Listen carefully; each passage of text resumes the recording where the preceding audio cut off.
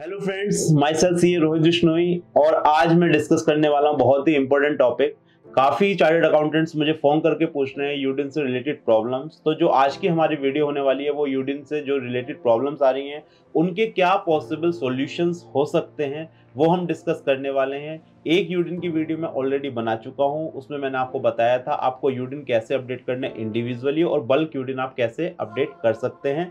तो आज हम डिस्कस करेंगे प्रॉब्लम्स और उनके पॉसिबल सॉल्यूशंस तो स्टार्ट करते हैं दोस्तों आज की वीडियो लेट्स स्टार्ट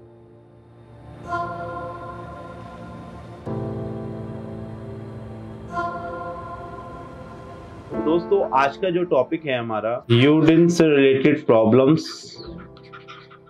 और उनके क्या सॉल्यूशंस हो सकते हैं। केस वन आपने अपना ओरिजिनल ऑडिट अपलोड कर दिया है। अप्रूव हो गया है। आपने यूडिन जनरेट कर लिया है।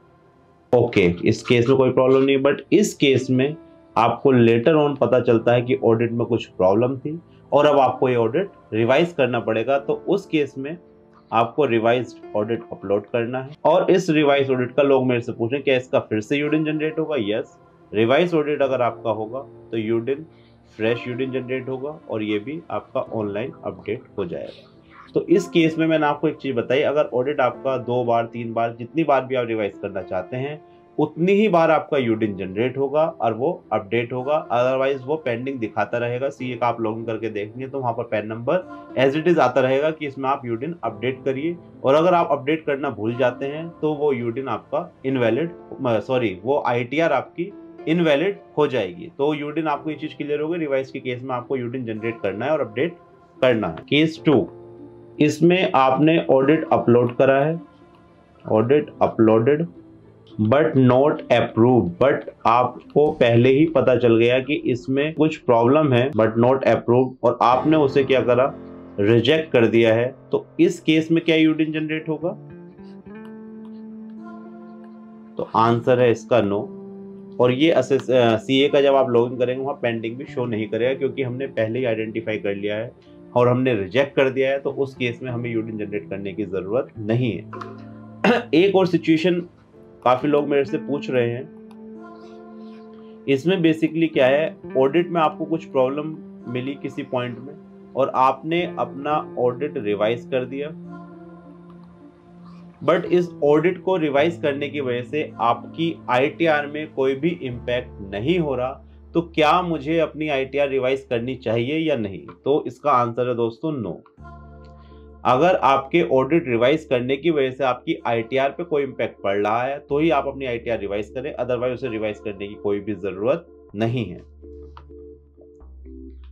अब एक नोटिस काफ़ी लोगों के पास लास्ट ईयर आए, इस साल मुझे पता नहीं, आए नहीं आए। नोटिस में बेसिकली क्या हुआ? ऑडिट में एटीसी में सीए के आर्टिकल से कुछ मिस्टेक हो जाती है बाय चांस फॉर एग्जांपल जो 80 सी था वो वन लैख फोर्टी थाउज़ेंड दिखा दिया जाता है, वो एक्चुअल में वन लैख फिफ्टी थाउज़ेंड होता है। तो आई भरते समय वन लैख फिफ्टी थाउज़ेंड चला जाता है और ऑडिट में एट्टी सी चला जाता है, जिसकी वजह से अस्सी की डिमांड जनरेट हो जाती है। तो उस केस में ऐसा कोई भी सिनेरियो हो सकता है कि हमसे डिडक्शंस कम दिखा दी गई हैं। एक्चुअल में वो ज़्यादा है या आई भरते समय वो ज़्यादा मिलती हैं।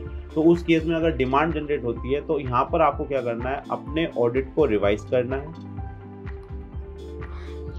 ऑडिट रिवाइज करने के बाद आपको रिएक्टिफिकेशन में जाना है। रिएक्टिफिकेशन में जो ऑप्शन आपको सेलेक्ट करना है, वो रीप्रोसेस द केस ये वाला ऑप्शन सेलेक्ट करके केस को रीप्रोसेस कर देना है। आप देखेंगे एक दो दिन में वो जो भी डिमांड आ रही है, वो ख़त्म हो जाएगी। तो इस तरह की जो भी प्रॉब्लम्स आ रही हैं, ये इस तरह से सॉल्व हो सकती है। अब मैं आपको एक लॉगिन करके दिखा देता हूँ। देखिए मैंने सी ए पोर्टल पर लॉगिन कर लिया सी ए की यूज़र आईडी पासवर्ड से। अब यहाँ पर हम जाके देख रहे हैं व्यू अपडेट लॉगिन तो यहाँ पर ये जब तक ये आपके अपडेट नहीं होने के, आपको सारे अपडेट करने हैं, चाहे वो रिवाइज हो, चाहे वो आपके ओरिजिनल हो, ये आपका स्टेटस क्या होना चाहिए? ये स्टेटस होना चाहिए जब भी आपका नो रिकॉर्ड फाउंड यानी इट मीन्स जब तक ये स्टेटस दिखाने का जो भी यूडिन आपके पेंडिंग आ रहे हैं, वो आपको अपडेट करने चाहिए, क्योंकि अगर आप यूडिन अपडेट नहीं करेंगे तो आपकी I T R later on invalid हो सकती है और 30 नवंबर इसकी लास्ट डेट है अपडेट करने की तो अपने यूडिन अपडेट करिए। आई थिंक जो लोगों को प्रॉब्लम आ रही है, वो मैंने इसमें कवर करी काफ़ी लोगों को इसमें मेटा डेटा एरर आ रही है ऑडिट रिवाइज करते समय। उसकी वीडियो मैं ऑलरेडी बना चुका हूँ बट काफ़ी लोग मेरे से क्लेम करते हैं कि सर, जो आपने वीडियो में बताया, वो सारी चीज़ें हमने कवर कर ली हैं बट स्टिल हमारा अपलोड नहीं हो रहा है। तो उस केस में आप अपनी फ़ाइल मुझे व्हाट्सअप या मेल पर भेज सकते हैं। हम करेक्ट करके आपको दोबारा वो सेंड कर देंगे, जिससे आप अपना रिवाइज ऑडिट अपलोड कर सकते हैं। तो दोस्तों, ये एक छोटी सी वीडियो थी बट ये वेरी बेनिफिशियल है आप लोगों के लिए। क्यों है बेनिफिशियल क्योंकि काफ़ी लोगों को ये प्रॉब्लम्स आ रही है, मैं देखता हूँ, और काफ़ी लोगों को मैं रिप्लाई नहीं कर पाता हूँ। तो इसलिए मैंने एक कॉमन वीडियो आप लोगों के लिए बनाई है, जिससे आप इस वीडियो की हेल्प से जो भी प्रॉब्लम्स आ रही है, वो आप सॉल्व कर सकें। और दोस्तों, अगर इसके अलावा कोई और भी प्रॉब्लम आपको यूडिन में आती है तो आप मेरे से कमेंट करके या व्हाट्सएप पर पूछ सकते हैं। मैं कोशिश करूँगा जल्द से जल्द आपकी सारी प्रॉब्लम्स का मैं रिप्लाई कर सकूँ। तो आई होप ये आपको वीडियो अच्छी लगी होगी और इस तरह की और भी अपडेट आप चाहते हैं फ्यूचर में आपको मिलते रहें तो मेरे चैनल को सब्सक्राइब ज़रूर करिए दोस्तों। और इस वीडियो को अपने जो फ्रेंड सर्किल हैं, जो चार्टेड अकाउंटेंट भाई लोग हैं हमारे, उनसे भी शेयर करिए। Thank you for watching this video हम मिलेंगे नेक्स्ट वीडियो में। बाय नमस्कार। धन्यवाद।